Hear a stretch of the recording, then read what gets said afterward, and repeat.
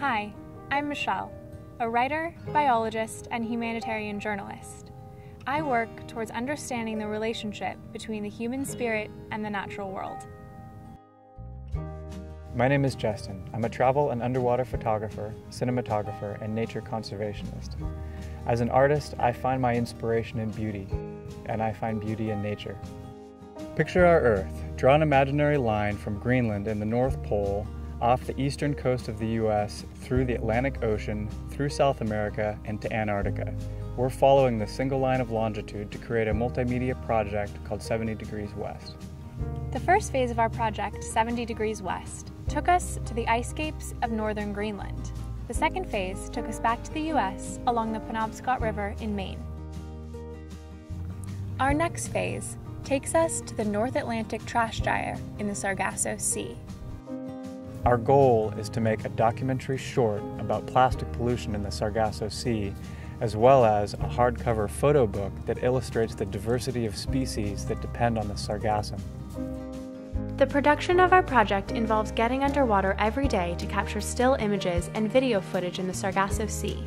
We will also film scientists collecting plastic samples, conduct interviews, and document the garbage patch.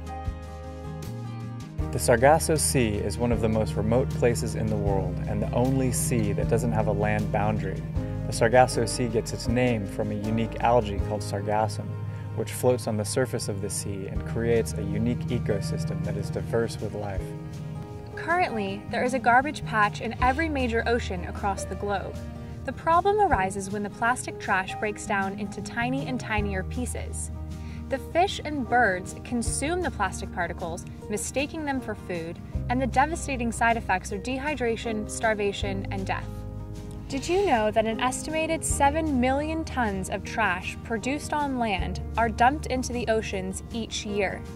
That's roughly equivalent to the weight of 90 million people, or 200,000 humpback whales. In this project, we want to merge science and art to build awareness about this complex issue. But to even begin, we need to hire a sailing vessel capable of navigating through the Sargasso Sea. We need a crew on board and specialized tools and equipment. Your donation will help us create an informative, eye opening account about what's really going on in the oceans and how each of us play an important role in its protection. We can't do this project without the success of our Kickstarter, so we're asking you and the Kickstarter community to please help us. Check out some of our awesome rewards listed below. Take a couple minutes to donate to our project, help us raise awareness worldwide, and become an ocean advocate. Thank you. Thank you for your support. Thank you very much.